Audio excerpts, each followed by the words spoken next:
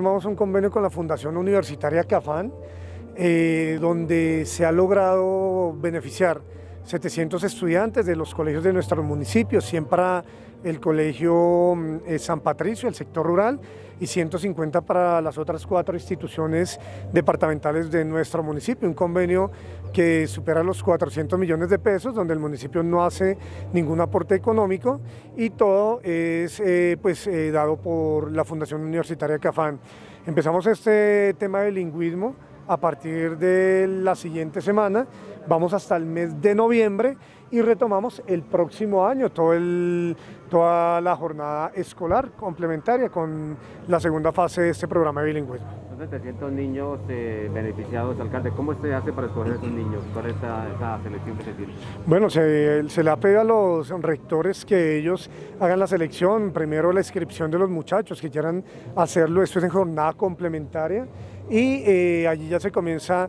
a, a pues, destacar los que vienen con las notas importantes para esta segunda fase de bilingüismo. Así es, estamos muy contentos por poder hacer el lanzamiento oficial hoy del convenio que hemos suscrito con la Alcaldía de Madrid para adelantar un programa de jornada escolar complementaria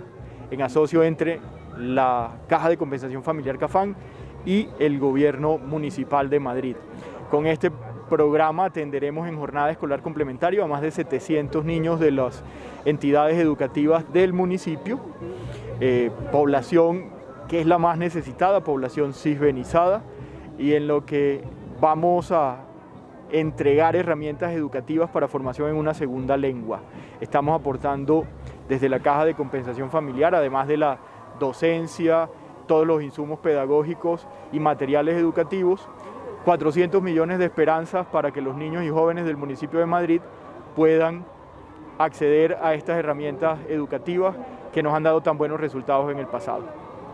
Señor alcalde puedan llevar las hojas de vida a los docentes para poder dictar estas clases aquí en Madrid. Sí, la verdad es que nuestro objetivo cuando adelantamos este tipo de programas es aprovechar la mano de obra en los distintos municipios, la mano de obra local y a través de la alcaldía que nos ha ofrecido la posibilidad de acopiar las hojas de vida de docentes en inglés que puedan ser evaluados por nosotros para la vinculación eh, para dictar este programa en el municipio de Madrid.